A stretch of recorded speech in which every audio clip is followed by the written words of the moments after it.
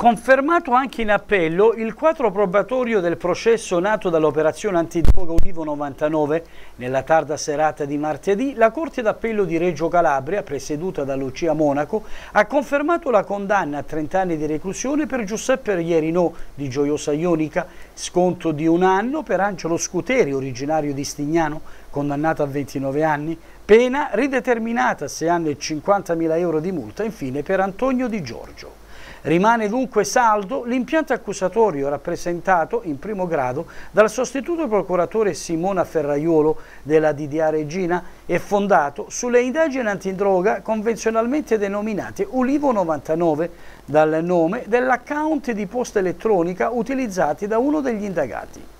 L'operazione è stata condotta dal nucleo operativo e radiomobile della compagnia Carabinieri Roccella Ionica ed è scaturita dalle dichiarazioni rese nel 2012 da un collaboratore di giustizia che hanno permesso di conseguire importanti elementi probatori in relazione all'esistenza di un sodalizio criminale che sarebbe stato dedito al traffico di sostanze stupefacenti operate a livello internazionale lungo l'asse Bolivia-Olanda-Romania